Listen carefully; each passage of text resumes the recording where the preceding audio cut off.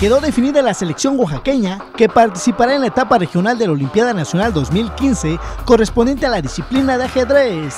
Después de intensas partidas de la eliminatoria estatal de dicha disciplina, llevadas a cabo el pasado fin de semana, donde participaron 40 exponentes de las diferentes regiones del estado, 12 oaxaqueños buscarán su pase a la siguiente etapa.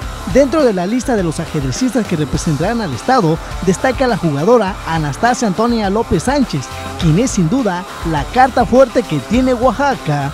De esta manera, los 12 competidores buscarán en Puebla su pase para contender en la Olimpiada Infantil y Juvenil 2015.